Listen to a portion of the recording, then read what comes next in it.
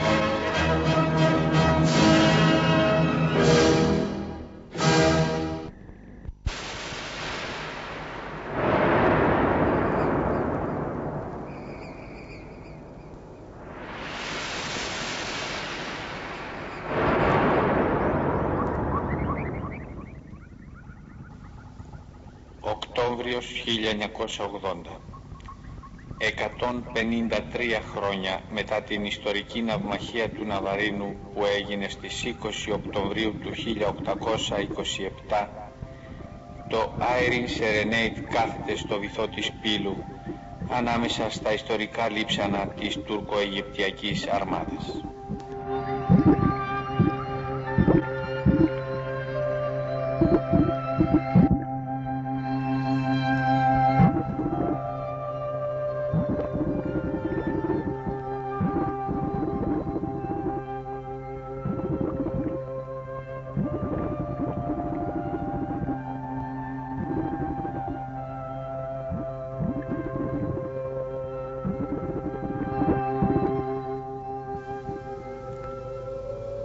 Irene Serenade, ένα μεγάλο δεξαμενόπλιο που μπορούσε να μεταφέρει πάνω από 100.000 τόνους πετρέλαιο στις 24 Φεβρουαρίου μετά από μια ισχυρή έκρηξη βυθίστηκε φλεγόμενο.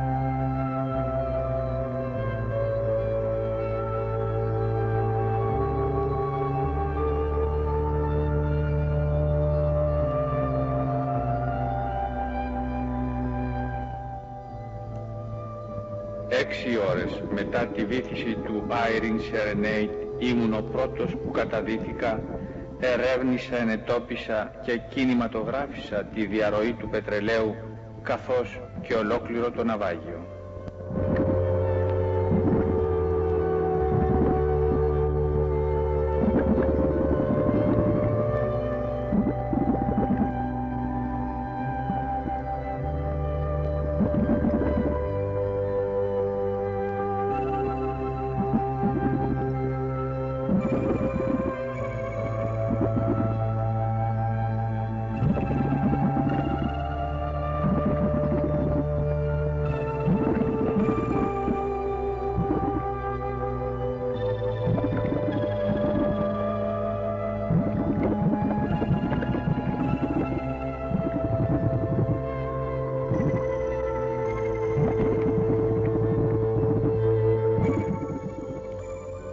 Στις 10 Οκτωβρίου, επτά μήνες μετά τη βήθηση του τάγκερ, ο τραχανθρώπων υποβρυχίων καταστροφών του πολεμικού ναυτικού και εγώ πραγματοποιούμε κατάδυση για να διαπιστωθεί εάν η διαρροή του πετρελαίου που είχα εντοπίσει τότε συνεχίζεται έως σήμερα.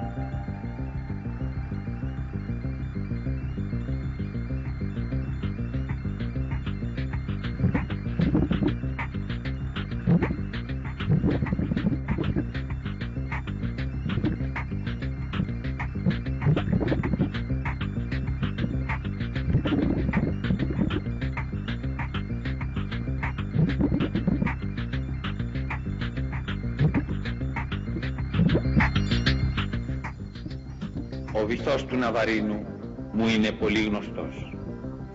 Στις 5 Οκτωβρίου του 1977, λίγες μέρες πριν από την επέτειο των 150 ετών της ιστορικής ναυμαχίας, απεσταλμένος της ΣΕΡΤ ανέλαβα να γυρίσω μια υποβρύχια ταινία με θέμα τα ιστορικά λείψανα. Όλα τα στοιχεία που συγκέντρωσα περιορίζονταν στα γνωστά σε όλους ιστορικά γεγονότα. Οι πληροφορίες όμως για το εάν και κατά πόσον υπήρχαν λείψανα ήταν συγκεχημένες. Ερεύνησα επισταμένος με την ομάδα μου το βυθό του Ναβαρίνου. Εντόπισα δύο ναυάγια και τα κινηματογράφησα.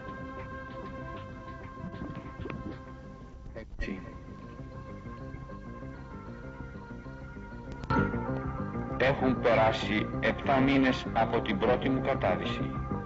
Όμως κατάφερα να οδηγήσω την ομάδα στο σημείο όπου διαρρέει το πετρέλαιο.